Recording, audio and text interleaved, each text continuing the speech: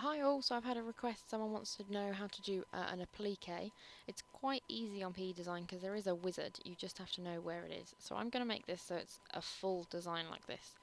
Uh, and then you need to select it, and you have to go to sew, and applique wizard hides up there.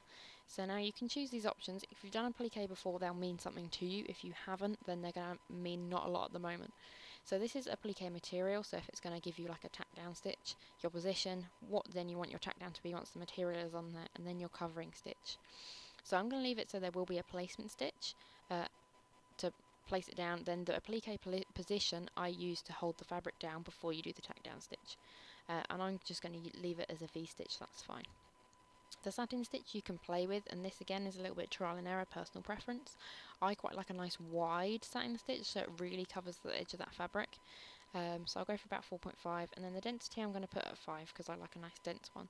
So I'll press OK, and then it converts it. So once you go up here, you can see what stages you're going to get.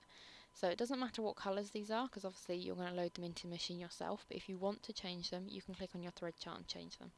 Um, you can also then add text to it if you'd like if you want to make it into a badge, for example. So you can put your text in there and you can play around with that.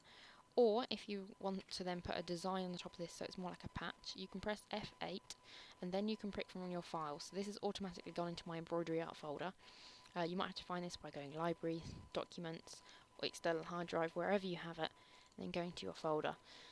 So you can pick any of these designs that you want. I'll try and find something that's not too much uh, because you don't want it to be too busy.